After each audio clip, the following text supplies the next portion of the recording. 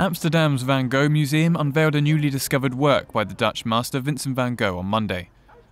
Sunset at Montmajour, painted in 1888, is the first full-size canvas by Van Gogh discovered since 1928. The work depicts a landscape around Montmajour, a vineyard hill town in the French Provence, with the ruins of a Benedictine abbey in the background, a subject that Van Gogh revisited many times during his time in Arles. Museum director Axel Ruger described the discovery as a once-in-a-lifetime experience at the unveiling of the painting in Amsterdam, Ruger also said the work belongs to a period considered by many to be the culmination of Van Gogh's artistic achievement. It is a great pleasure for us to present to you this morning a new work by Vincent van Gogh, a newly discovered painting. Ladies and gentlemen, it is a, an important work by Vincent van Gogh that we're going to present this morning to you. It is from his most prominent period in his career, uh, from his uh, period in Arles when he worked in the south of France in Provence.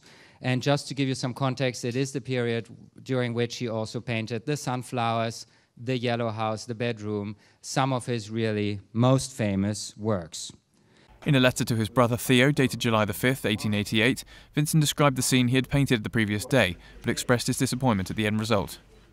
The work was later listed in one of Theo's catalogues and then reappeared in 1970 in the estate of a Norwegian industrialist, Christian Nicolai Mustad.